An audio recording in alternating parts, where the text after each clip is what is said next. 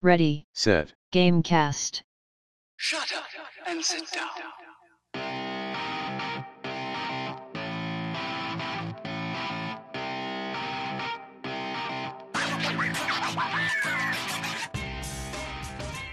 Welcome to Ready Set Gamecast, a bi weekly podcast about video games and comic books. I'm Bryce, and I'm joined by the Harley Quinn of podcasting, Darrian, Yo! and the Nightwing of video games, Teddy Chinaris. Nightwing is garbage. I'm kidding. He's my favorite. he's my favorite. Well, one of my favorites. Those nicknames really didn't make sense, but uh, comic books are cool, right, guys? Yeah. Indeed. I, I, dude, I don't know the last time I picked up a comic book though. Sadly, probably in like the summer.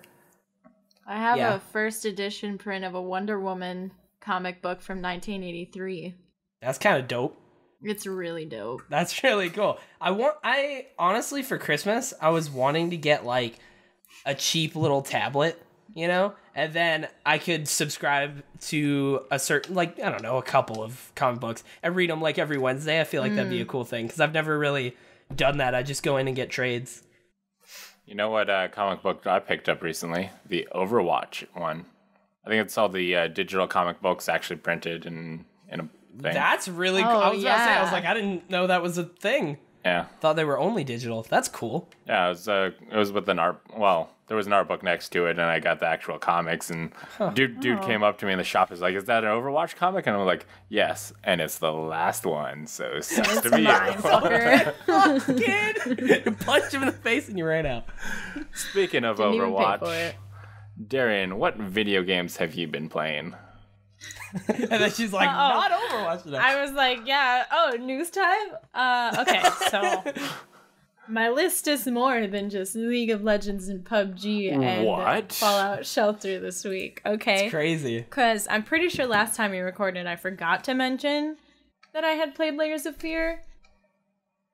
I don't You- remember that if was we talked you played about it it. after we you were gone. It gone. was after it. or right. It was right before you were gone. So It's Okay. been. I it's wasn't been, sure. It's been a while. Me and Darrian went on a, a week, uh, or technically two week hiatus. Hope you guys had fun with Matt A plays. was He's like- a cool dude. Yeah, he's pretty chill. But uh yeah, so I played Layers of Fear on stream. Um that was really fun. Um I still haven't played the um the uh DLC yet, but I played the whole base game. Got an ending I didn't like. so I watched the other ones cuz I was not going to play it again. Yeah. Um, I also got Stardew Valley on the Switch, which is really good. It's a pretty good port. It's really wonky because I'm used to the keys obviously being very different. the the control scheme for console Stardew is just not great. yeah, it's really they- not that's great. You probably the only thing it. they need to fix. I mean, you get used to it, but it's just kind of like ugh, I you could've done this continuously am like fucking stuff up. Like every Yeah. time I go to put stuff in the chest, I hit the wrong button and I have to undo it. And I'm Yeah. just like, there's like a five second panic of, oh god, I Yeah. fucked up. it's mostly the every stuff time. with the with the cursor. Like the cursor acts weird. Yeah, the cursor's But- weird. I feel I like they on the could have. uh, on the Switch. I wish you could like for inventory. I wish you could just like drag stuff. Yeah, I don't know why That'd they didn't incorporate that. Like, isn't the Switch a touchscreen? Like, Yeah, I mean, touchscreen probably takes more effort than it's worth. Like most yeah, and people if it's probably just wouldn't one use it. dev, Well, like, I mean, they they expect people to play it in the like it's a console first, so Yeah, exactly. They have to make it so you can't use the touchscreen. Yeah, you're not always gonna be on the handheld. right. unless you're Um, but I played that on my trip. I didn't get to play it for very long because I forgot my glasses at home and I got a headache really quick. Thing. So, Are you but nearsighted or farsighted? I'm actually farsighted, but when I'm in the car, like I have it like far enough away, and like there was there's I don't know, I I yeah I don't know. It was it's really complicated. Okay, I'm weird. Okay, Really? but I get headaches when I'm in my car, cause like I won't just look at my game the whole time. I have some severe ADHD, so like I'll look at the game and I'll look out the window and I'll look at my phone and like in between all that, I got a huge headache. So I had to put the game away like an hour in. I played it again on the trip and stuff. Like, so I got probably like two or three hours in. Um, but I liked it a lot. Um, it's very. It's, I like it a lot. I, there are some things they need to change with the controls, but I feel like they're honestly not going to. So uh, you Yeah. well, one can hope. yeah, Um, I also finally got on the Cuphead bandwagon Oh uh, recently, which was great. I love it so much. that that seems like most people who play Cuphead's response. Did you uh, Like- beat it? no, hell no. I'm still in the Yeah, first world. that would be my response. Oh, hell no. Like it's Oh so my God, no. fucking hard. Like oh my god. Uh, my focus right now is obviously not going to be on any game but League of Legends because the season is about to end. So we got to do some of that grinding stuff. But before As one this does. last week, I've been playing a lot of other games. Like I also Nice. started playing this mobile game called Love Nikki Dress Up Queen. It is a dress up game. And As you can imagine. you have a character, and there's a whole weird ass story about she was like transported into this other world that is solely focused on like fashion and design and styling and stuff.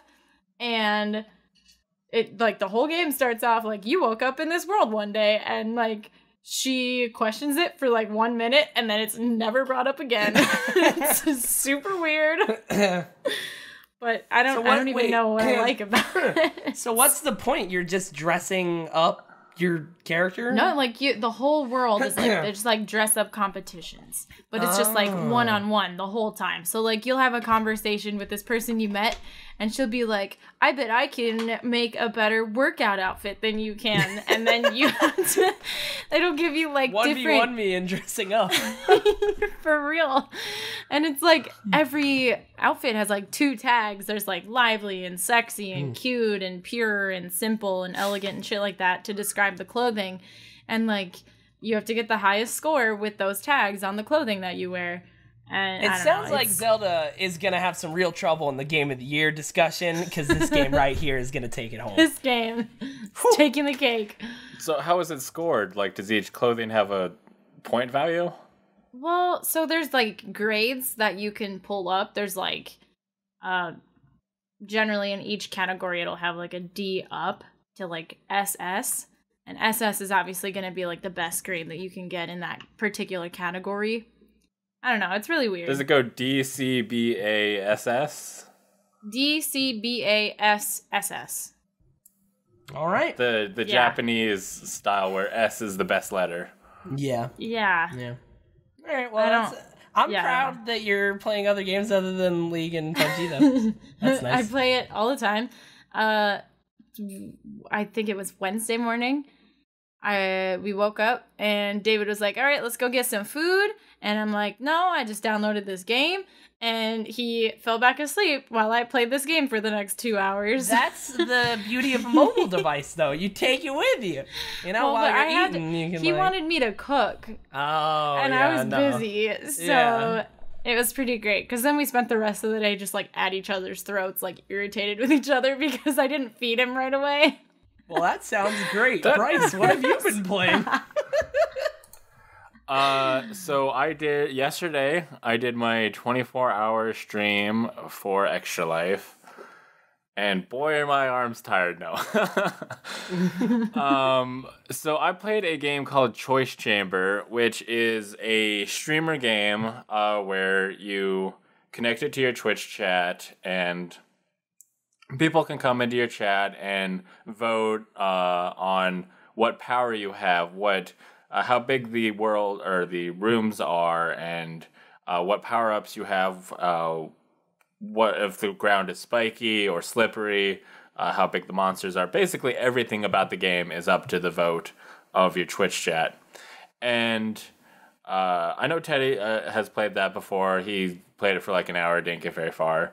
But because I was playing for like 24 hours and a lot of people co- came to just play that, like be in the Twitch chat and, and play that, I got pretty far. Um, I got through the first world. I, I guess like after 35 rooms, you fi- fight the second boss and you enter a new world with different monsters and stuff and there's like new weapons you unlock like what seems like a weird kind of simple game uh with like Switch interaction apparently, and it's it's simple combat. It's a lot of plat a lot of platforming, some simple uh, swiping and stuff. But there's a lot to it. The second world has vastly different uh, monsters than the first ones. Where the first ones will just kind of walk up to you and ta take a bite, whereas this in the second world they've got like roly guys that you have to kind of bat away, or they'll uh, just roll over you. There's a guy who will chomp at you, but when you when you defeat him, he's like a porcupine will shoot uh, spikes out at you, so you gotta dodge those. Uh, there's and there's a whole bunch of different power ups. Like uh, they can summon a gizmo for you, and there's gizmos that will uh, attack you. There's gizmos that'll offer shields that'll shoot enemies for you. There was one gizmo that you could jump into his he's basically a little claw thing and you could jump into him and he'll like carry you for a little bit. And i fought the the second boss room 35 and i get there and i i managed to last heart just last shot take the boss out. But in that in that deal i final jump i jumped into gizmo's mouth accidentally. And uh, Gizmo flew me to the right, and just as the final boss is exploding, I whack against the side of the wall. Gizmo drops me into lava, and I'm out. So you Don't want to be jumping accidentally into Gizmo's mouth, kids. yeah, that so Be on the lookout. it's actually very interesting that the what seems like a very simple game that people are probably going to go, oh, this is cool, sh-" or like, oh, this is for streamers only. And to be fair, you cannot beat the game without having people in your chat. There are sections that are specifically. Uh, i- i- if nobody votes, then it just does random. But there's specific sections where people have to like build a bridge or or stack up blocks or something in your Twitch chat for you, so you can't play it without people. But it's actually pretty long and got a lot of depth to it. So if you are a streamer, I definitely recommend checking it out. Te- Teddy, uh, Teddy tried it and he's, he's like, no, I don't like video games. Yeah. I like it. I played it for like an hour one day a couple of months ago, and it was fun. And I was like, that was neat. All right, cool. it's not a game I'm gonna play for a long time. But uh, another game I played was the VR horror game Duck Season. So season. uh, this uh, it's a mix of basically so you're in the 80s and you're a kid and your mom rents you uh, basically a duck hunt for the NES and you put it in your NES and then you are in the TV shooting ducks. And there's the creepy there well there's the dog but it's basically looks like a guy in a dog costume. And he's grabbing the dogs or grabbing the ducks for you and stuff as you shoot them. And so that the section of shooting ducks uh, is every time you do that, you're back in your house and you can uh, grab stuff and look around and all that. But after a couple times of doing that, stuff seems very off. At one point, you get out of the, the game world, you turn to your side, and the dog from that game is outside your your window with a video camera like filming you and just like as soon as you notice him he just like darts away and that game like the the the the ability of VR to make you feel there mixed with very good horror is f- creepy as f i VR horror sounds like the worst thing. yeah yeah literally imaginable. I, I spent I, I had trouble going to sleep that night just like okay so if creepy He dog was is snapping me. is there what It what's was what's what's my response but yeah it's uh if you are willing to play a VR horror game it is very well done it's um from people who used to do Rocket Jump the YouTube channel Rocket Jump uh Wait, what the? Whoa, whoa, whoa! You got my attention. What the fuck? Duck season. I'm looking this up. Uh, it- wait, so Rocket Jump has a game dev studio no now? uh no so guy who used to I think he was Okay, one of the founders of of? Rocket Jump Okay. uh Brandon something um Oh, I don't remember his last name, but I know ex- I have an Yeah, image. so he- I listened to the, Rocket Jump does a podcast called the Face Rocker Podcast, or they did. It's dead now. I listened to that for like years, so I I got like backgrounds of like their office and stuff like that because I really liked uh, video game high school. So yeah I just all of a sudden I was like, oh, now I'm interested. Th- they did a uh, different VR game, and then they did this one, and and you can tell that they're rocket jump because every every time you get out of the video game uh, world, a little tape, a little video plays on uh, the TV, uh, so you can tell that they they didn't leave their Yeah. y- video making uh, lifestyle behind. It's still in their game. Yeah. But yeah, so that's uh oh, and uh I played Mario Odyssey. I'm in the second to last world, and it's uh just as good as everybody says. It is very fantastic. I have I am also playing Super Mario Odyssey. You you, you bought very- a Switch to play Mario Odyssey. Yeah. Yeah. I I was going to my my brother-in-law and my sister's apartment last Sunday and I was like I went and saw what did I see last week in theaters? I don't know. I saw Oh, I saw the Tom Cruise movie American Made. How was which that? was all right. Oh, was pretty pretty good. It was better than the Foreigner, the Jackie Chan movie. It was definitely better than that one. But I mean, right now, if you're going to the movies, you're gonna see Thor, or you're gonna see Blade Runner, like you know. I still need to see Blade Um, Runner. But I stopped by. I stopped right after the movie. I was like, I have time. I drove. There's a Walmart like right next to the movie theater. I stopped by and I was like, if there's a Switch in this Walmart, I'm gonna buy it. I'm gonna buy. It. If not, it wasn't meant to be. I'm not even gonna think about it for like. And then I went in. There was. It was. I don't know if I've even said this yet on stream or anything. It was the last one. It was the last Switch. It was Super Mario Odyssey bundle. It was the last one, and and and I got it. And now I'm in debt. And I also bought Legend of Zelda: Breath of the Wild and Stardew Valley. So I was also I I've only played like one day in Stardew Valley though. I just made my character, skipped the intro, and did a day in game time, uh, just to like get started pretty much. And other than that, I've just been switching back and forth between Odyssey and Breath of the Wild because they're both so fucking good. Well, you, They're so good. you've played Breath of Wild on Wii U, haven't you? Yeah. Did you I played like tw- no, absolutely not. No, nowhere He close. talked about how bad I didn't even do a divine. was. Yeah, I didn't he even do a didn't like divine the- beast. She didn't like the gamepad. No, the gamepad sucks, dude. Y'all want to know how badly the gamepad sucks? How bad does the gamepad suck? It. Look at this dust. I don't even know what this is. It's like lint or something. It's dusty. Look at this. I never Why picked do you this just? up. Why do you subject your things to that? Why don't you my just sell it? Yeah. Uh, I probably will. I'll probably try and sell the Wii U, honestly. Also, I don't subject my things to that. I subject my things that I don't touch for multiple, multiple months to that. All the other controllers, my Xbox, even my PS3 controller, not dusty. Xbox One controller, PS4, now the Switch Pro controller, all that's good. Oh, you bought a pro controller things are, too? Like, yes, away. I also did buy a Pro controller. But after that, I was like, I'm not buying anything for the Switch until like 2018. Like, So I'm you not. spent like six hundred dollars I on your spent Switch all at around once. like 500. I think it was like a little short of 500 if or something like that. if I But walk into the store and it has a gonna be- Switch, I'm spending all of Hey, the money. Here's the thing. Here's the thing. I really the Switch when it was announced, I was like, if it works exactly how they're advertising it, that's like my favorite thing ever. Like I love the idea because I've done it before with PS4 games of like cross save.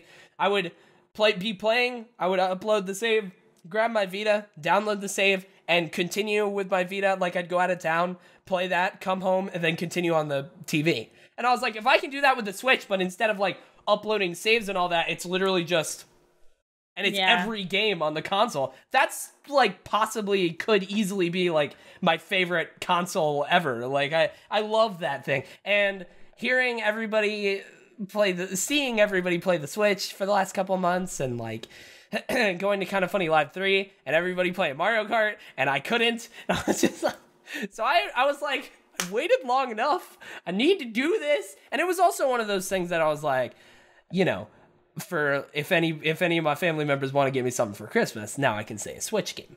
Whereas before, you know, I couldn't. So Before I you also- would have said, "Hey, someone want to buy me a Switch?" and Yeah, nobody and it would, was- and you'd be disappointed. yeah, and it was also like if I didn't get it now in the holiday season, it they were like they were gonna be out. Like getting it right now before uh what is it Black Friday and then Christmas and all that. I was like they're gonna be out of stock again. I might you know it's now or never. You know. Uh, but other than that, I've been playing way, way, way too, way too many things. it's a problem really. Um, Destiny 2 on PC came out before, uh, in between last time I recorded, and now I probably played like 12 hours of that. I beat the story on my Titan, and I'm like level 20, but I haven't. I haven't really grinded or anything. There's just too much, too much else to do. And Cuphead, I was also playing a bunch of Cuphead. Cuphead is very frustrating like you said like you were saying but it's it's really good though every time like i reach a new phase in a boss fight i'm just like so happy that i reach a new phase because like something cool is and interesting is happening on screen that i'm like oh yeah i'm gonna die a second later but you know i got to see the thing and i want to keep going because i want to see the new things like that game's really good. Will i ever It's go back to it? Probably not. It's good in that like the it's so gratifying because you die so much. So that Yeah. when you finally beat the boss it's like yes Yeah, and it's also one of those done things that like the the the patterns are relatively easy to learn. Like Yeah. it, not easy, but like it's learning pick up on 'em. patterns and like getting better. It's not necessarily like these things that are just constant like RNG or anything like that. You can just you know you can playing like one little bit, you know you can beat that boss. Like if you play it enough, you're gonna beat it.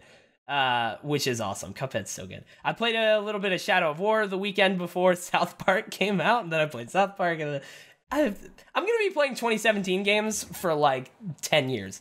Uh, but Shadow of War was really good. The little bit I played of it was really fun. Uh, South Park is hilarious, um, and the combat's really good. the The one thing I don't know, man, I'm not personally a huge fan of the open world parts of South Park. Like I get sometimes it it leads to good jokes like finding all the uh I think it's called Yaoi, all the all the Japanese art of Tweek and Craig around the place that you find. That is hilarious, but it's also one of those things that's like there's so much downtime where you have to get to an area where you're just walking. Like you there's just a lot of walking in that game. I I kind of wish they just one day were like here's a giant South Park linear episode that you're like playing and having combat in and stuff. I don't know. Um, but it's really, really funny. Assassin's Creed Origins, as a huge Assassin's Creed fan, um, it is doing exactly what I want it to do. The story's really good. Uh, Bayek, like the main character, is really interesting and like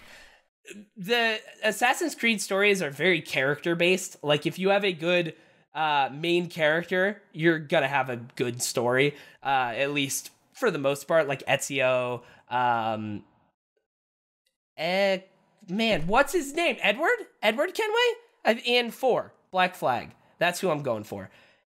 I think it was Edward. Yeah, uh, he's a he's a really good uh, he's a really good main character as well. He's super charming and stuff like that. And like if they're a really good main character, they can carry the story even if it's not super uh, interesting in and of itself. And Bayek is an awesome main character so far. The combat is really really good. The world is huge. The the mechanics of Senu and how he works with the environment and how like if you need stuff you can farm it, but it's not like with Far Cry where it's on the map. You have to use Senu.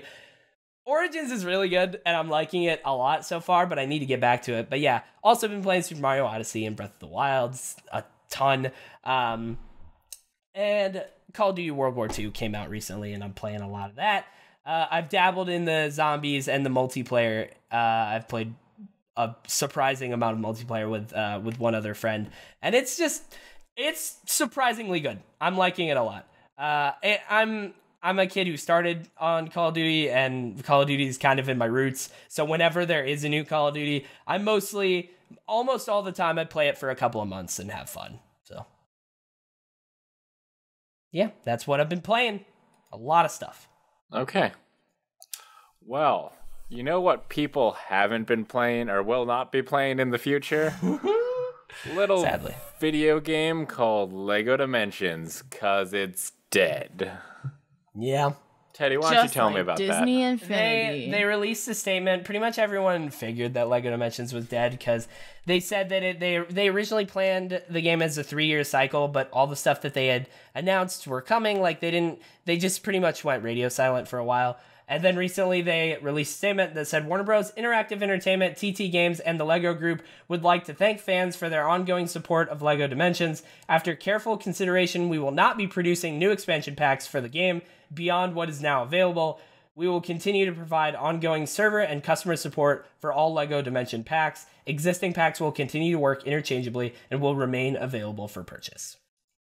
So So not It just is like dead. Disney So- Infinity. no, Does it? I mean they're they're continuing to sell what's available. They're just not making anything new. Mm. are they are they making more of the packs that currently exist? Probably. While they're still selling, they're going to keep them in production, I imagine. But then as Yeah. soon as they stop selling, they'll probably like discontinue them. Yeah, they're they're not gonna make more assets. No, they're they're they're not adding new IP or anything like that. Interesting. Um, but yeah, as somebody who was really, I always wanted to get into Lego Dimensions, but it was super expensive. Now I'm kind of glad I didn't. Fi- Or at the same time, I'm kind of like maybe one day they release an ultra mega super bundle for like 500 bucks. That's like everything in the game. That would be cool, I mean, and I'd be all over that. pretty soon they'll probably you'll be able to pick up each pack for like 50 cents because everybody will be clearing out their stock as someone who went hard on disney infinity like i i bought a lot of that stuff at full price there my i have a shelf in my basement that is just a big shelf of a lot of disney infinity figures I would like a snap of that. and uh yeah See- yeah, so see- that's one thing that's dead. You know what else is dead? The Kinect. Microsoft officially is, has killed off the Kinect. They have said that they are not manufacturing any more Kinects at all. Like they've stopped producing them, which is one of the things. Like Kinect, they've been phasing Kinect out for years. Like it's not like anybody was really awaiting the next AAA Kinect game, but they've been phasing that out for uh, for for years, and now they've pretty much officially stopped. which is i mean they tried hard to push Yeah. they they bu- they forced you to buy one early on yeah, at launch. I mean, at launch, it was all part of the of the original plan for the for the Xbox One and how that system worked was like your the all in one entertainment system where you could be like Xbox, open Netflix, go to channel, blah blah blah. Um, but yeah, no, now it is dead. Which I've heard the one thing that I hear from people that they loved about Kinect is the voice commands, where they could just go Xbox, open Netflix, Xbox, open this game, stuff like that, where they could just control the Xbox with their voice. Which I find weird that a lot of people like that. Just release like a really cheap little microphone with that technology that you could just plug in and just have it sit on your thing. I feel like that would be a, a good solution for that. But Wait, so they're look like ending they're the doing that. voice control, or what? like are they not going to release some kind of change for that? Because like, No, not as, not not any hardware. why don't Like, they if just you still sell have the Kinect, it'll Xbox still with work. a built-in microphone? Yeah, yeah, that's that's another one of the things. But at the same time, the Kinect was supposed to be built in, so it's like, yeah. Yeah, isn't that something they were going to do with the Xbox One originally? Well, yeah. I mean, you couldn't buy an Xbox with without a Kinect for like the first two years. A- Yeah. And originally they said they were like, we're never going to sell an Xbox without Kinect. And then Phil Spencer's like, yo, what's up? Nah, get this out of here. uh, do you know if you could stream to Twitch from your Xbox or- originally? Originally, I don't know. Uh, I know you can now. Yeah, Um, PS4 had that feature right away, and they could I not think you could. they could not keep PlayStation cameras like that. I mean, I think they under PlayStation did not produce that many cameras, and people were trying to buy them all because they wanted to be streamers. So the fact, I mean, it's crazy that PlayStation camera, who never tried to make a, whose techno was technology wasn't as fancy as the Kinect, that that camera is still out there, and Kinect's died. I mean, the problem with Kinect is that it was connected to the idea of like the Xbox One, you know, TV, TV, Call of Duty, Call of Duty, like the original Xbox One launch where they're like, oh, this is all about entertainment, where everybody was just like, if I could pay, you know, $60 less for that console, that would be, or however much Kinect is, that would be really nice because I don't want it. But they were forcing you to get it. That's one of the problems with And it. So. and there were no games that used it, so Yeah, exactly it was mainly just the uh mainly just the uh chat functions so Hey, lots of Just things Dance worked with Kinect.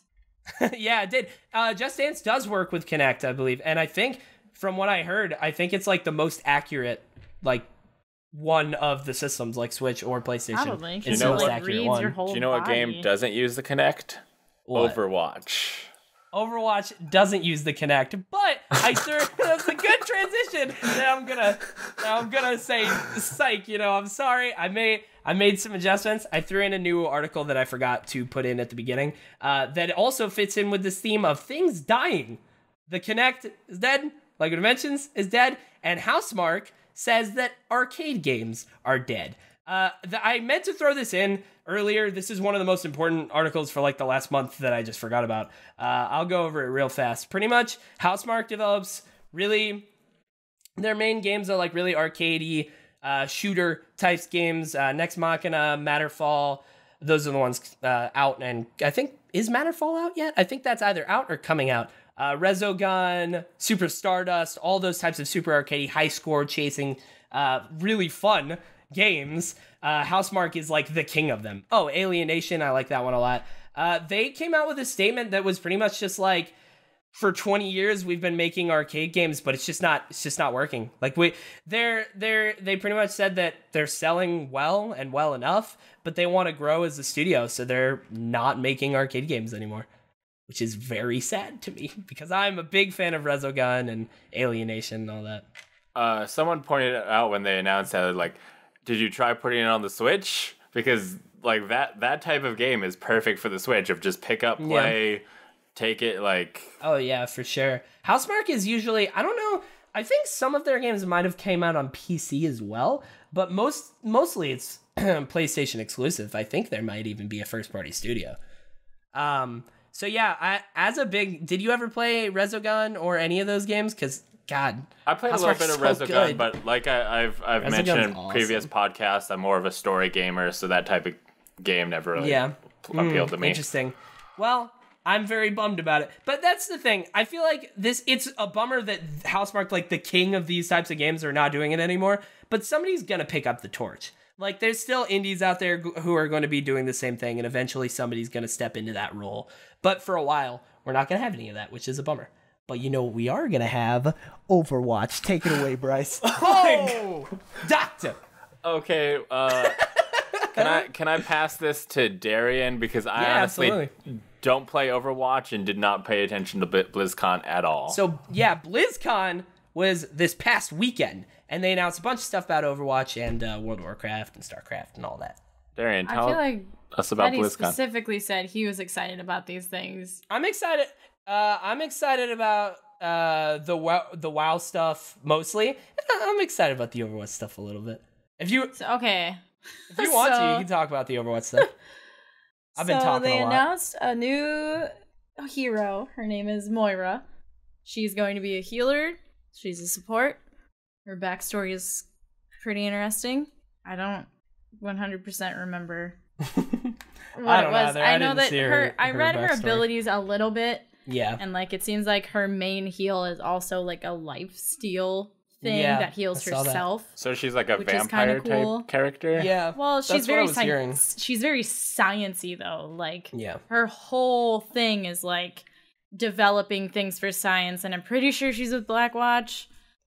Yeah, I, th- I think it so. certainly her, her little intro video looked like she was not. She's like, a definitely like, of and she's yeah, she's with uh Reaper and Widowmaker and Yeah. Sombra and uh Doomfist. I don't remember what their new thing Talon. Oh yeah, yeah, Talon. she's in Talon. Mm. Yeah, So that's pretty Her character model looks really cool. She looks badass. Yeah, she looks awesome. That's one of the things that's like, if a new Overwatch hero's coming out, if anything, they're gonna look cool. Yeah. like they, oh, Blizzard is great at that. So, Um, well, there's already Mercy. Uh, there's already two healers, Mercy and uh, the. There's four healers. There's Mercy. There is Som or Sombra. so there's Mercy. There is uh Z- um the, oh god the Omnic. What the fuck? Uh, Zenyatta. Z- Zenyatta. Thank you. Lucio and then uh Ana. Yeah, the And the they're sniper healer, which yeah, I I tried Which once and that would seem the so second weird. best healer in the game. She's great. Don't She's diss. great, but if you have terrible aim like me, you're gonna play Mercy. Yeah, instead. you have to be good at her for, to make her You have to great. be- Like I'm not good at You her, but she's good. a great I mean, support. to be good, you gotta be good. So, what makes sad me. this healer special? It seems like the the lifesteal aspect so far. We I don't think the there's way- any like real the way gameplay she's of yet or actively stealing health from enemies to heal herself because like uh, Lucio's heal works in that it's an area of effect. Everybody in it is going to be healing at a very slow rate with a boost with one of his abilities. Mercy has a one person heal uh, that's really strong, and when she's out of combat for a certain amount of time, she'll heal back herself relatively quickly. But Moira seems to be like in the action, actively healing someone while also actively damaging someone and healing herself. Like it's a lot of healing and damage all at once, it seems. Okay, so Kinda she's like a she's a damage hero that also heals. Sort of. She's more focused on healing.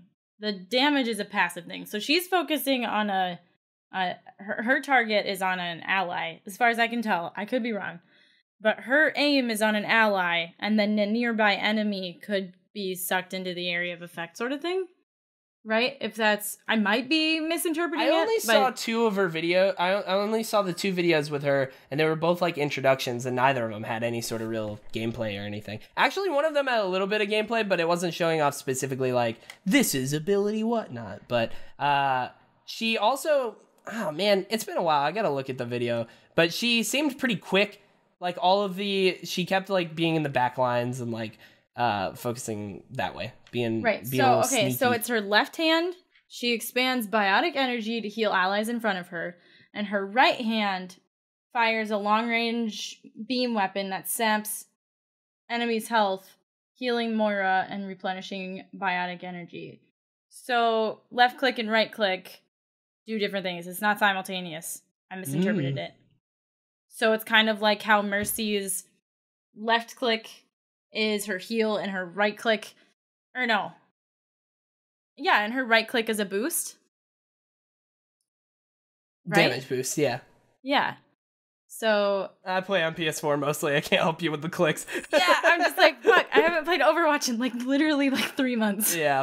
Um, I don't know. She I get looks hyped interesting. about all the new stuff, but I yeah, don't play it. I'll be excited to play her uh, because I do like healing when it's easy, not when it's Ana. Mm-hmm. 'Cause I suck at that. You know which Overwatch character I have played? Reinhardt.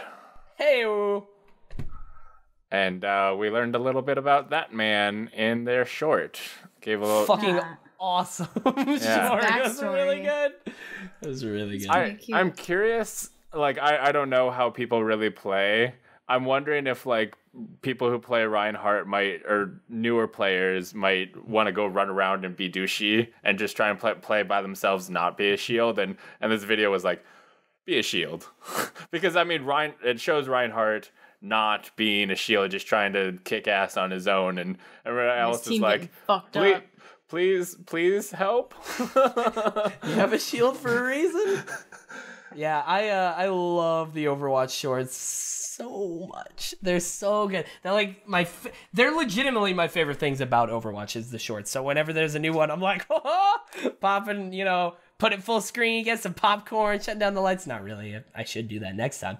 Uh, but yeah, there. This one was really, really good. It Doing was a really viewing party next time. I uh, Hop in my I Discord while we watch bit. it together. yeah dude if i that's one of those things that i wish i owned like a movie theater that i could just put off on the uh, in like set aside a screening like for specific internet things that'd be awesome uh but yeah it was really heartfelt around the end and it made me tear up a little bit and i was a big fan of it you know what else i'm a big fan of world of warcraft let's go boys so World of Warcraft. Uh, this is one of the other things at BlizzCon that happened that I'm super into. Holy shit! I cannot tell you how good Blizzard is at their animations, like I just told you about the previous one, and then they have another one for the new expansion. So they announced two big things for World of Warcraft. One, which is super interesting that nobody ever would have guessed they were going to do. They announced it was pretty much just with a trailer that showed all the big cinematics going backwards, like rewinding back to the first cinematic, which is super cool. And then it was like, wow, World of Warcraft classic. So they are going to put up some sort of service. We don't know if it's going to be like a separate subscription fee or which I doubt. I don't know. We'll see. We don't know if it's going to be like really separate or or what it's going to be, but they're making World of Warcraft classic servers where they're going to try and recreate vanilla, which as somebody who was not in vanilla, but you hear all the time like I play World of Warcraft really casually. So, but I do hear all the time from people, oh man, I played in vanilla when WoW didn't suck. Oh, ever since oh, the blo- expansion XYZ, it's been garbage. Uh, so like, there's a lot of people that just stopped because they apparently Blizzard really changed design philosophies. Um, so I'm gonna be excited to see people's reactions when it goes live because I think a lot of it is rose tinted goggles or glasses or whatever the phrase is. I think a lot of it people are going to be remembering really, really good times, and then they're going to get back in here and be like, oh, there's a lot of stuff that was actually missing that is, makes the game actually better now. Um, and I've heard that from people who did play in vanilla that they also think that's how it's going to be. So I'll be really interested to see that. I kind of want to try it out too. If it's included in the regular subscription fee, I'll definitely try it out. I'll load in and see what that's about. Uh, but honestly, I think that's really far away because they didn't announce. I don't think they announced any sort of timetable for either the classic or the new expansion called World of Warcraft Battle for Azeroth. Let me make sure of Azeroth, Battle of Azeroth, um, which is really exciting. I will say it's kind of not as big of a wow factor.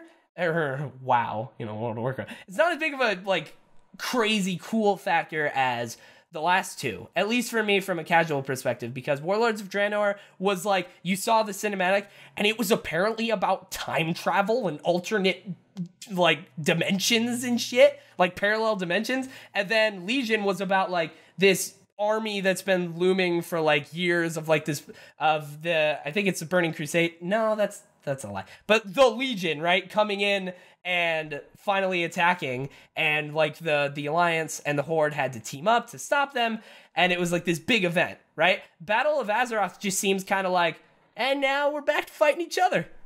Like kind of the staple of World of Warcraft is Alliance versus Horde, and this is mainly focused on Alliance versus Horde. So it's like I feel like there's not necessarily a big event, but that's okay because from my little knowledge, the last couple of World of Warcraft things have been huge. So I guess totally fine for them to step step step back, go back to basics, and uh, I'm very excited about it. The cinematic trailer was it dope as hell. It's really good. It's basically a battle between like Sylvanas and the Horde fighting. Uh, Anduin and the Alliance, and they're just like fighting. And both of them have a really cool, like, for the Horde and for the Alliance moment that's like, oh, it's great. Um, so I'm gonna play that. No idea if I really will play that. I want to, but you know, I play it very, very casually. I've played WoW for like 300, 400 hours. Legion is the first expansion that I had a max level character during the expansion, and I still have never done a raid. World Orc ever never done a raid. I really want to do a raid, so I don't know. I'll get in and I'll probably level up from 110 to 120, and that'll probably be what I do. But I'm excited about it. It's if I'm guessing, I feel like it's going to be next fall is the release.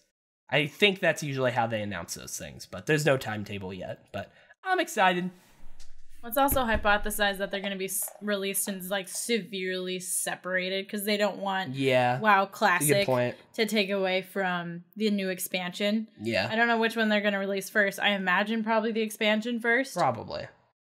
Um, I'm really excited for Classic though. I want to see what it was like.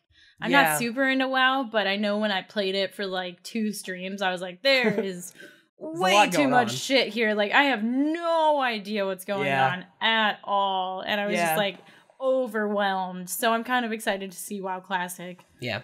There's something about World of Warcraft that that fascinates me with stuff like that. Like I the idea of vanilla and all that, like that's a that's a big moment in video game history that I mm-hmm. was alive for, but like I was too young to be playing it and I yeah. wasn't really into it around that time and stuff like that. So it's like I was there. It was kind of happening when I was here, but like I I, didn't I, I, wasn't heard about it. Yeah, it was like I over it here, was- but I was I like right here, it. just kind of looking, but not really looking. So I want to, I want to like every time I hear somebody talk about their times in Vanilla WoW, I, I'm very interested to hear about it because I don't know, I find it fascinating. But yeah, So all the previous expansions have kind of had the uh, Lions and Horde teaming up for a big bad and never actually fighting each other, despite that being the crux of. well, no, they still technically in the lore, like at least during the PvP, like PvP is always still Alliance and Horde. Like they're always still kind of at each other's throat, but in the story they have to team up to fight a big thing. But usually as soon as the big thing is dead, like in the final part of the story, then it's like, yeah, now we're back to fighting each other. But from what I understand, they removed PvP servers. mm, I didn't hear anything about this. Interesting. I, I I'm looking it up, and it looks like they removed PvP servers. So the fact that they're going with Oh. a whole, you know, oh, versus thing is very interesting. So yeah, PvP servers is like the the open world like when you're running around and you see another person if you're in a PvP area, you can you can attack them, right? But having general PvP will still almost definitely be there. I mean, like, absolutely. Uh, so yeah, that's interesting. I do know the cool thing that they're doing is like Alliance has their own starting zone, and Horde has their own starting zone for the story, and they're both like they're they're both starting in different areas, which is cool because usually it's like one area. Oh, really? I didn't know that they started Yeah. the same place. Yeah, you you in expansions like in Legion, you all started at this big place. I don't know. I think in Warlords you did too. It's the only time I was really playing currently, but yeah, I'm excited about it. Gonna be cool. Uh, so we got a lot of other big game news out of Paris recently. Specifically, some Sony news. Oh yeah. Um, let's start off with Spelunky 2. This one with girls. Did Spelunky originally not have girls in it? Actually, I think it was, but it was just the main I was character. to say, I was like, I mean, there Odd. was side characters you could unlock, uh, but the main character was a dude, and this Hmm. time you appear to be playing as his daughter, at least based on the cool. uh, the trailer. It shows kind of little snapshot, snap, uh, snapshots, uh, showing showing that like uh Spelunky Man uh met friends, which is the other unlockable characters, uh completed his journey, started a family, had a daughter, and then it shows uh the dad giving the daughter his hat and then slowly he fades out of the photo. So I think it's showing that He's dead. yeah, honestly I think that's probably it. It is so. Well, Let's if you're a big fan of sad. Spelunky, there's more of that. Yeah, so the the pre-show had a couple of like announcements, but the two big ones were Spelunky 2 and Guacamelee 2, which I am very excited about Guacamelee 2. Guacamelee, ori- the original Guacamelee is super good. I- super good. Didn't get into it, but Really? It's awesome. It's a really cool uh, Metroidvania that got pretty hard at some points, if I remember. Oh, I also went back to do the hard uh, playthrough for the trophy, and I got a little bit in. I was like, this game is fucking pushing my face in. Uh, but yeah, it Guacamelee is awesome. Play Guacamelee. It has a really cute little sense of humor. And if anybody else, I need to talk about this game. All right. One thing, if you don't know this about me, my three favorite, or I'll just say my first and second. My favorite video game series of all time is Infamous. Infamous, followed closely by Uncharted. Infamous by Infamous 2 is my favorite video game of all time. I'm a big fan of Sucker Punch. Sucker Punch is awesome. Every single last PSX and last E3, or two E3s ago, last PSX, and then this last E3, each time I'm like, this gotta be the one. Sucker Punch is gonna come out. They're gonna tell us what they're working on. It's gotta be the one. Each one. And then this last E3, when they didn't do it, I was like, what are you doing? It's been so many years. Like, I think Second Son came out in 2014, and I believe First Light was 2015. I'm not 100% on that. But it's been a long time. They've been working on this game for a long time. And they came out with a cinematic uh, CG trailer. It's, uh, it's a game pretty much about being a samurai. Uh, and it's called Go- uh, Ghost of Tsushima. That's how you say that. Uh, and honestly, I really want to see more. I will say, like, being completely honest, the trailer was good. It wasn't amazing. Like it didn't it didn't make me go, whoa, it's crazy. I can't but what made me go, whoa, it's crazy was when I was watching it, and then at the end it goes sucker punch. And I was like, let's go! because I know that studio, I know what they do, I know they make really good games. It's the same type of thing that they did with Infamous, only without su- the superpowers. It's going to be an open world game, they've said, so they're staying in their wheelhouse. Because I know them and I know what they're capable of, I'm very excited. Can't wait to hear more. Uh, Now, uh, next up, uh, Darrian, we got some uh, news that you might be into. Uh, we got a new Destiny 2 expansion coming out. What is Destiny 2? What is this that you're speaking of? I don't know. It's I'll, the I'll new let- Club Penguin. I'll, I'll let I'll let Teddy explain it. Uh, I'm I'm sure you'll be too excited to really uh, tell us everything. I Te- can't Teddy, contain Teddy, why don't you- why- myself. why don't yeah, you? yeah. The uh, the Destiny 2 DLC, they showed off a really cool trailer for it, pretty much being like Curse of Osiris, which we already knew that.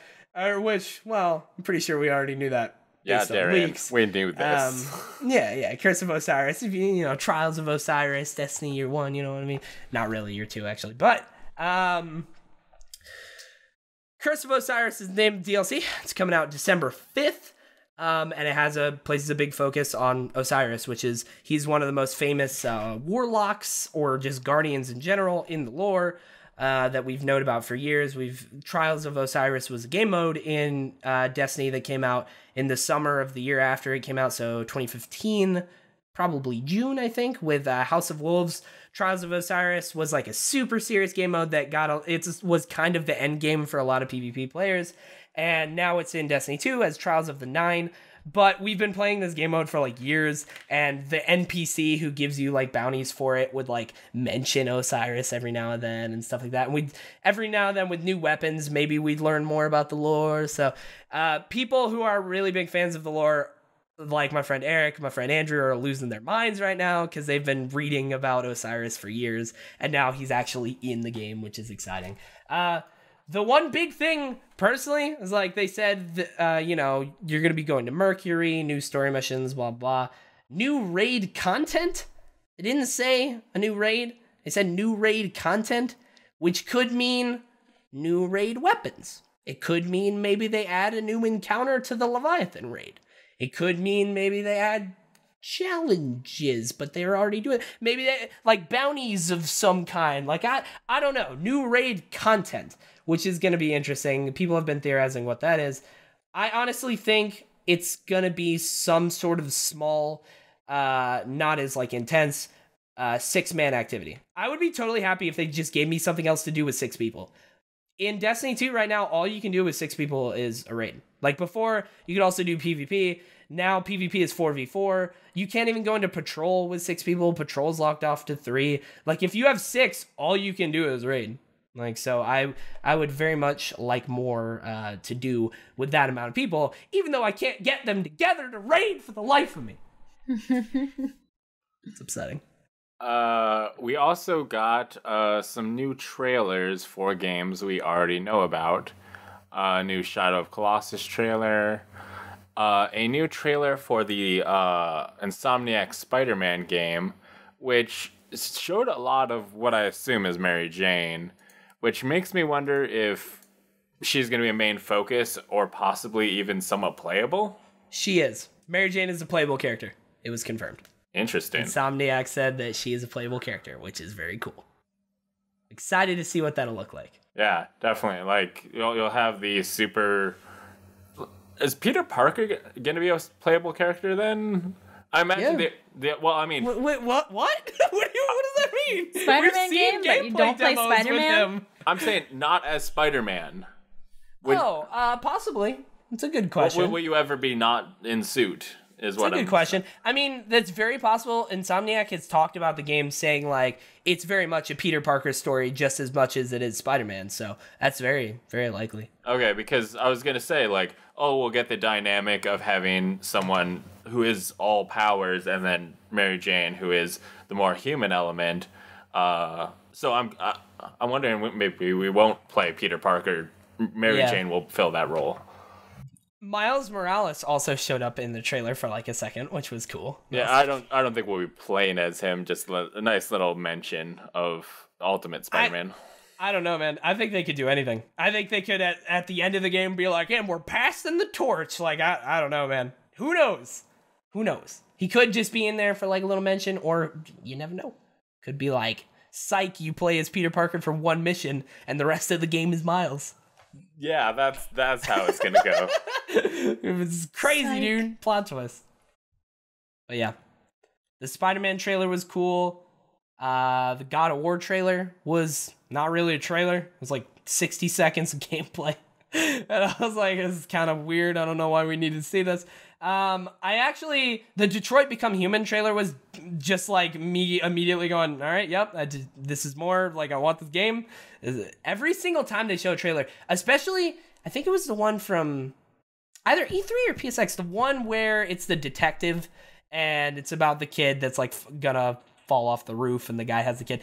That that trailer right there. Every time I see it, I'm like, holy shit, because it was the first one that I had really seen of the game, and it was like, oh, that game's gonna be really really cool. All the different choices and how that can turn out, I hope is as good as it sounds. Um, and then the Last of Us 2, 2 trailer, which I haven't actually seen yet because I've been watching the conference because I didn't watch it live. I've been watching it on YouTube and trying to catch up, and I'm literally at the point where they're about to see the Last of Us trailer, and I'm like, well, I just haven't. I had to leave. Let, let me tell you about it. Uh, so it features um, a group who has just captured a woman, and they string her up by a noose and get ready to hang her when suddenly uh, arrows start flying at them and taking them out. And uh, no, sorry, Get, getting ahead of myself.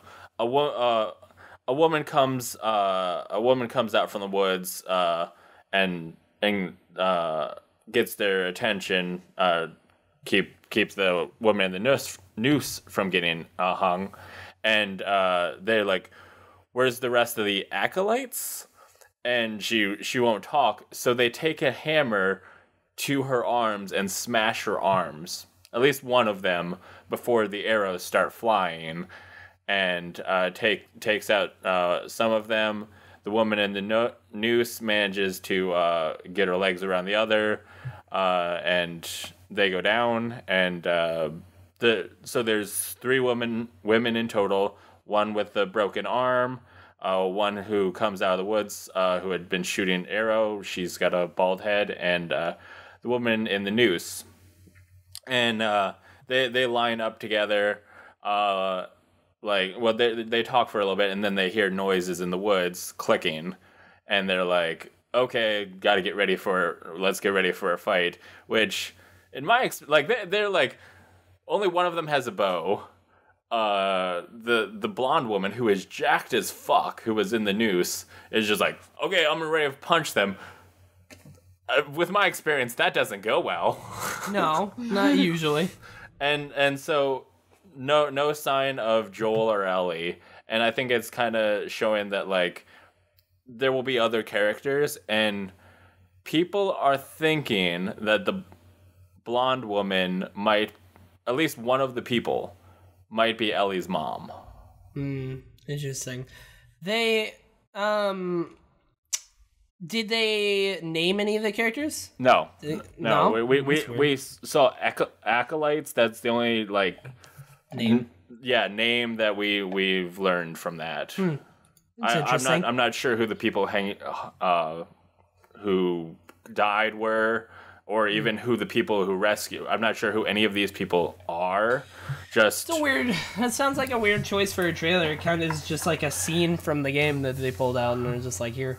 I, I think it's it's showing that like you know there's more going on than Ellie and Joel in this world. We're seeing other people existing I don't know if I like that.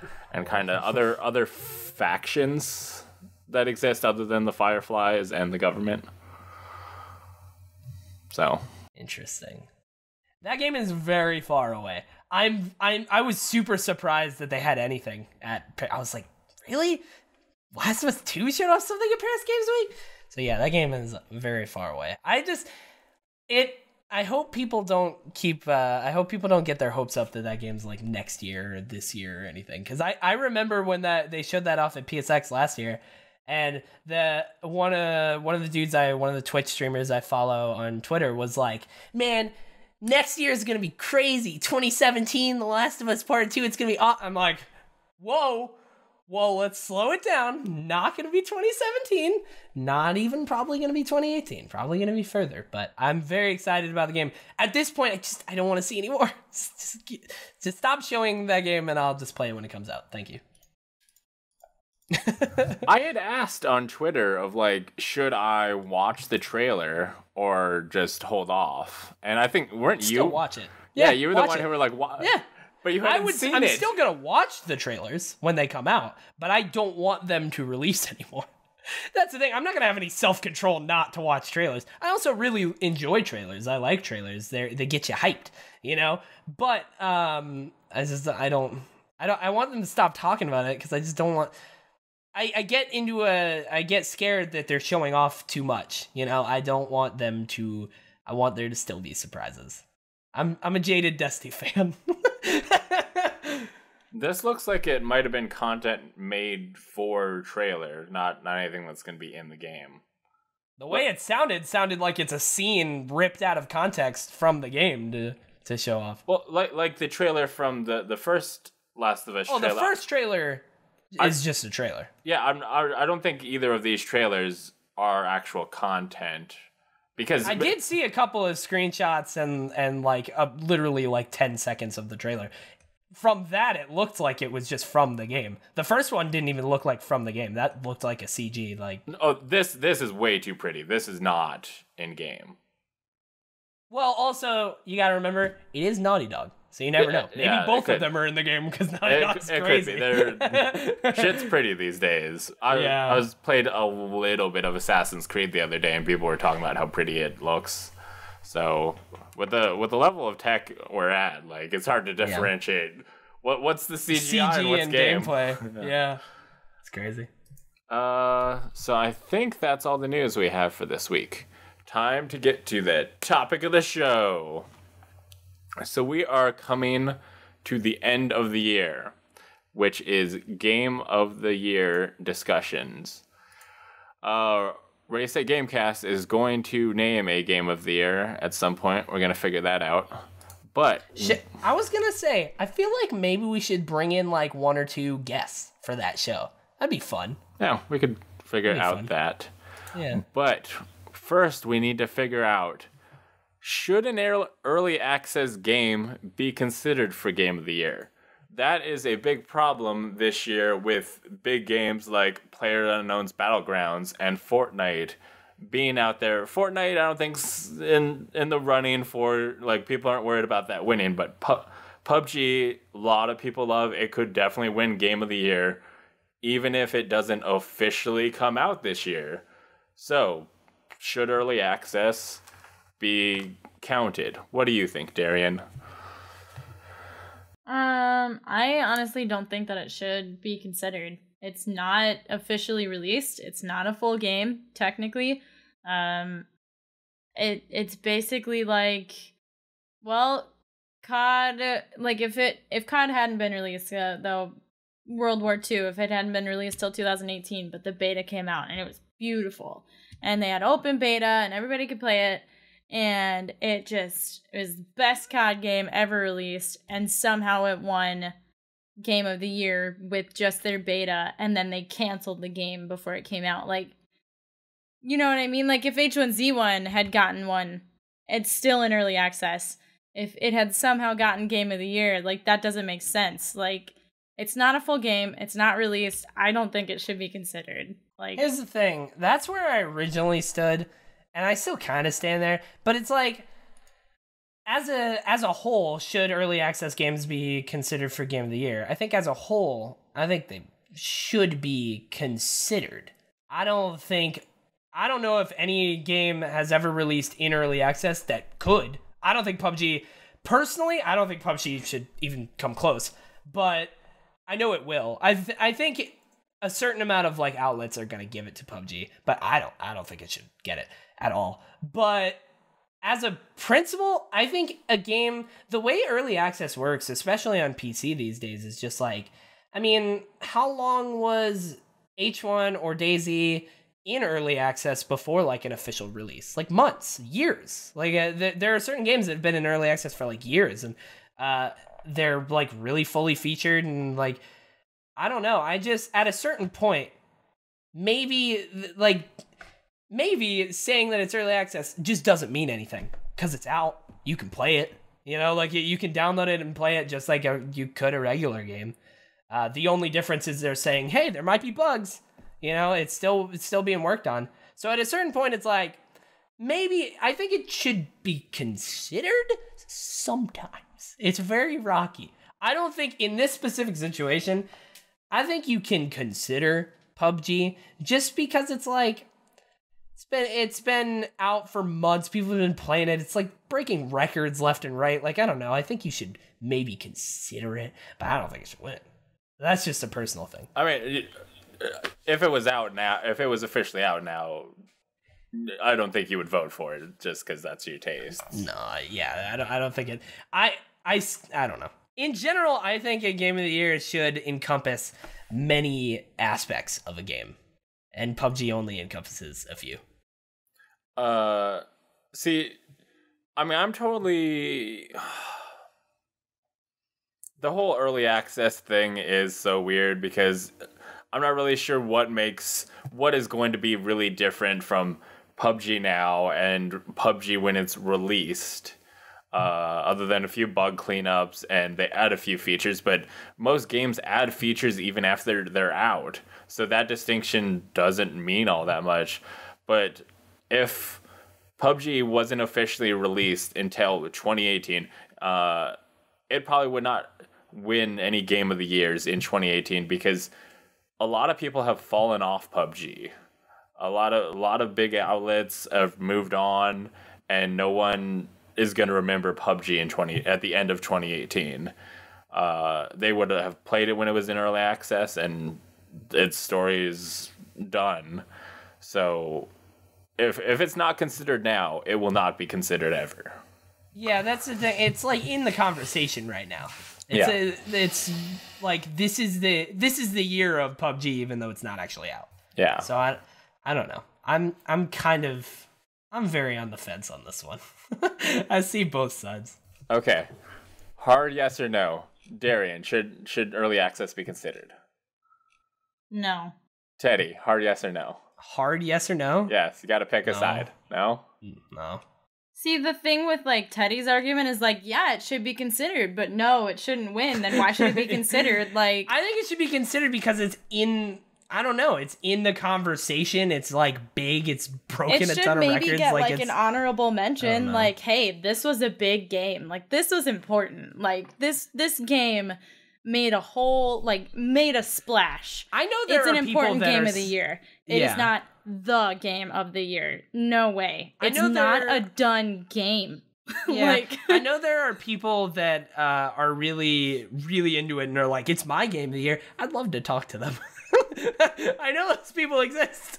I'd love to. Love Well, to yeah, there's no doubt. know. Like, fu- I bet Doctor Disrespect would probably say, "Yeah, even though they fucked me over, like this is probably my favorite game of all time." Like, you know, like the people who are big and like playing it all the all the time and like have eh, insane interest in like their stats and stuff. Like, I'm sure that they would advocate for, "Hey, this should be game of the year," but like ultimately, like for the average player, it's like no, I don't. I just if it's not a done game, how can you say it's the game of the year? Because it's not a complete it game. doesn't mean anything anymore. I don't know. There's a, there's just a lot of games like I don't know if done means anything anymore. Us, yeah. Because like some games launch where it's like broken and they're constantly working on it, but it's still technically launched. I don't know. I, This it's just ultimately breaks don't mean into anything anymore. yeah.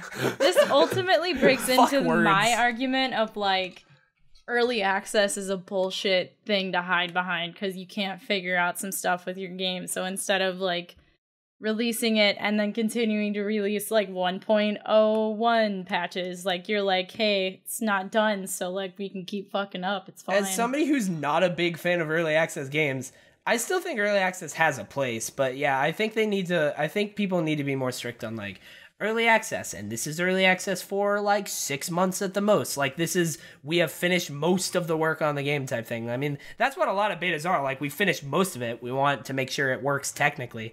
But sometimes these days like like PUBG was like this is kind of the base. After we're going to throw it out and see what people like and don't like about it and they're going to be with us in the process of developing the game mm-hmm. so it's like that that's a different way to look at but like I don't know. I know Bunny. It, I I used to talk with my friend Super Killer Bunny. I used to talk to him about this all the time. He was like, he's really into PUBG, and I would be like, I just wish they had waited until it was done, and then there would be like more maps and like different different sizes and like di- all these different cosmetics, and it wouldn't be as buggy and like it would run well, and and I and I feel like I'd have a much better experience. He's like, yeah, but then I wouldn't be playing it right now. You know, if you really love the game, then you're just happy to be playing it. So I don't know. It's weird. To be fair, like, would they know what people would want? Would they know that? yeah, like, exactly. People They're would. trying to tailor it around them. yeah, so it's, it's weird. people really want Vault like. Uh, quality assurance people or beta people might not know. Oh, vault! Everybody's trying to get over these ledges. We should add in vaulting. They wouldn't know that till the game's out, and then, you know, it wouldn't be the game. The game that co- will officially be out when it's out will not be the same game if they had just released it straight out because Yeah. they didn't have that impact. Uh, so we got a few questions in by our good friend Yuri. If you would like a question on the show, go to readysetgamecast.com slash submit to submit a question, comment, or your favorite Digimon. Uh, so Yuri asked, what is your idea of a great game? And if you made a game, what style slash genre and story would you tell? First of all, I want to say shout out to Yuri, Yuri Gaspar. He's a he's a bud. We use, he's part of Panda Parade, which used to be a thing on my Twitch channel every week, where me, Yuri, Bunny, Miss Penguin Von Penguin, and Squeegee would all play a game, and we'd do it like once a week every week, and it was like a whole night where. And it start it's the Panda Parade because we started off in World of Warcraft, fittingly enough for the episode, uh, and we played as pandas, and it was fun. Um, Yuri's the dude, but the first question, what is your idea of a great game? I'm gonna disregard that, and I'm just gonna go with the second one because I think that first question is way too broad. What's your idea of a great game? I, Digimon World for the PlayStation 1.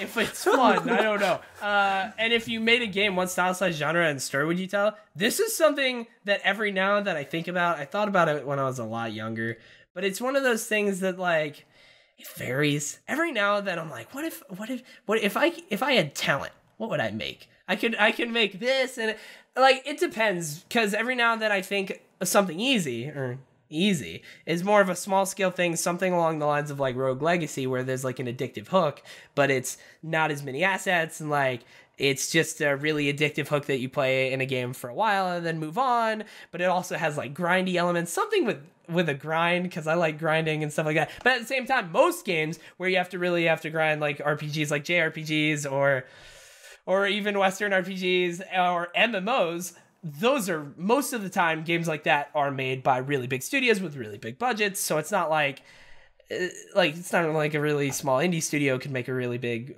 story focused RPG or anything like that. So I don't know. In my head, maybe I pick up Infamous because I don't want that to ever die. Because the sad part of Ghost of Tsushima is that Sucker Punch is not making any more Infamous games, and I'll just pick up that torch.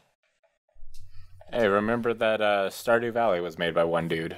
So, It took him many, many, many years though. well, one, one he like person can do away for for a long time. one person can do great things.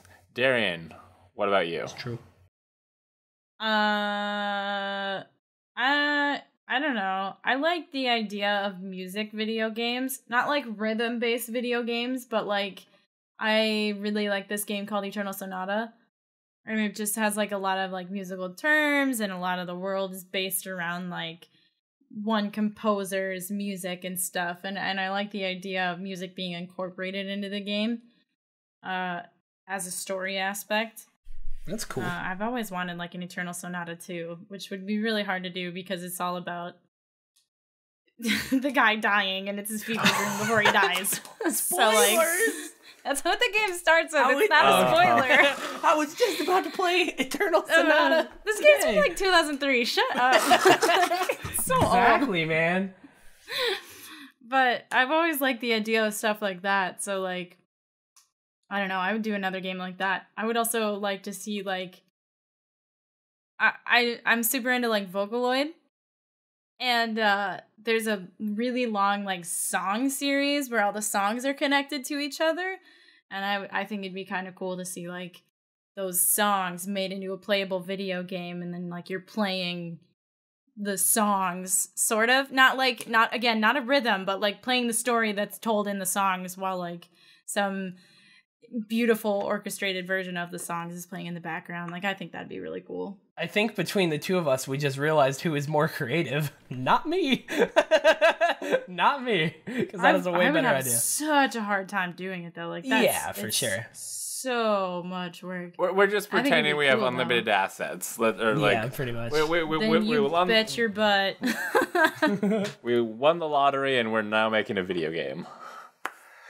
Um, I'm, I have said before, and I've even said this episode, I'm more of a story gamer, and I think if I made something, I'd probably go with uh, something more story focused, a walking simulator with gameplay aspects, something like Edith, Edith Finch or Tacoma.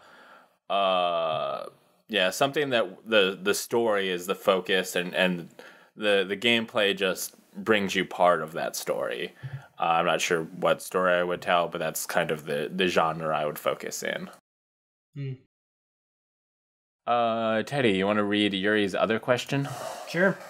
Uh, he said, "Do you ever get tired of games? What do you do instead?" What do y'all do?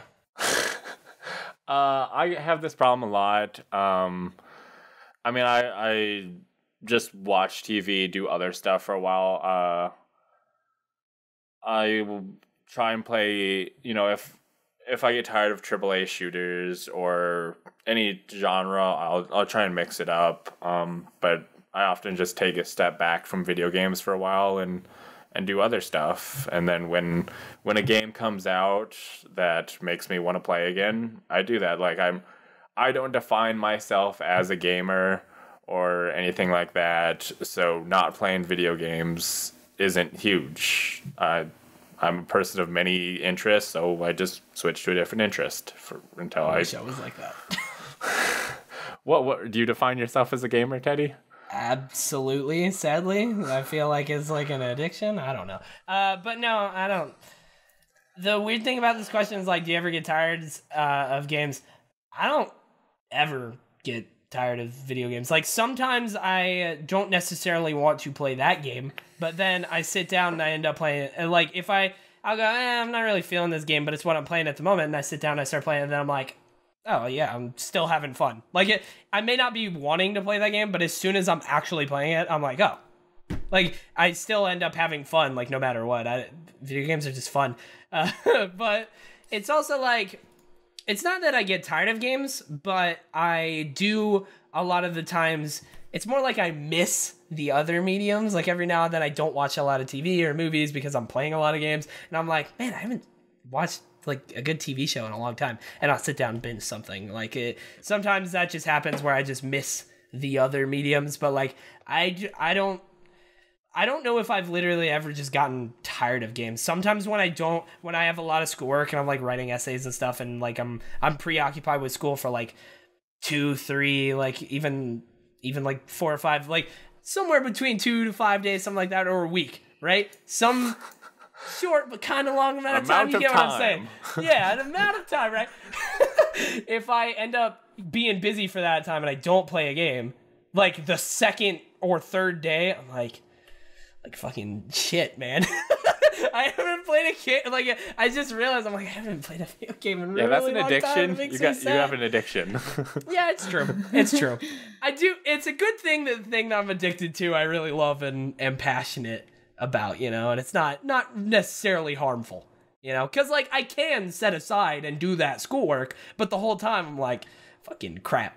I just want to be. I just want to be playing this game. Especially sometimes when that happens with schoolwork and like a recent game came out, and I'm like, well. But yeah, uh, I don't necessarily ever get tired of games, but I do want to do other stuff a lot of the times. But there, there's very rare occasions when I'm not playing a game on a regular basis. It's just kind of who I am at this point. What about you, Darrian? Um, I don't ever get tired of video games either. Um, but I also I like to say I'm a gamer, but really I'm a League of Legends player. like, like I like to try out new games know, every once you in a while, but like for the most part, like I I get pretty serious about League, so like if I get sick of League or if I need a break from League, I'll try to play a different game, but I very rarely like play a video game till its end because I just want to go back to play League. So See, that's what I always wish I was. I always I like playing. I play uh, literally everything except for puzzle games and sports games. I play everything, but it's like I don't. I I specifically like a lot of games that have a big community. Like I got into League of, Leg- League of Legends at a certain point. I like World of Warcraft. I like Destiny. Like there are a lot of games that I wish I could just sit down and play that game and that game specifically wow wow kills it with so much of this stuff especially recently man like if i had just been playing legion i feel like i would have been happy but like at the same time i always want to do that because i want to be more involved in those games because i like those games but if i sit down and do that like sometimes i'll sit down and play world of warcraft for like two or three weeks and then I'm, then very soon i'm like I'm liking this, but I want to play something else. Like I just like video games as a whole too much that I like seeing other games and like what they do differently than other stuff. Like I just like video games as a as as like an as an industry that I like keeping up with it. So I try to play a lot of stuff. So it's like I want to get invested into one game, but I never can. Destiny was the closest I'd ever gotten where three like, you know, for 3 years I played the thousand plus hours of Destiny. But at the same time, I was still taking breaks and whatnot. But there were there were moments where I probably played like three to six months of Destiny straight. So that was probably the closest. Okay. Well, that brings us to the end of the show.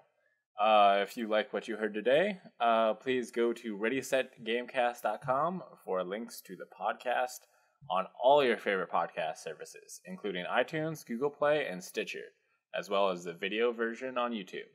And if you like the show, please subscribe, rate, and review it on iTunes and Stitcher. It helps us grow and become more powerful. Uh, where can people find you, Darrian? Twitch, Twitter, Instagram, Facebook, all dexteridee, uh, D E X T E R I D E E. And Teddy? Uh, Twitch.tv slash Teddy Chinaris. Uh, Mondays through Thursdays, 7 to 11 p.m. Central Time, and Fridays and Saturdays, 10 to 12 Central, and on Twitter.com slash Teddy Chinaris, spelled C H I N A R I S. And you can find this dusty Wii U gamepad in a GameStop near you very soon. Very soon. Uh, and I am at Last Geek on Twitter and Last Geek Plays on Twitch and youtube.com slash Last Geek where this will be available. Uh, that once again brings us to the end of the show. Uh, thank you for another awesome episode. See you in two weeks. Bye.